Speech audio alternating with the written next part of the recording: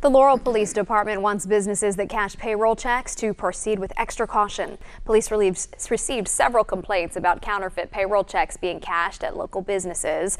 Recently, Laurel Police arrested this man, Anthony Bonner. Bonner's bond is set at $10,000, but police also named people of interest, including Daryl Lampley, Jalen McGilbury, and Willie Campbell Jr.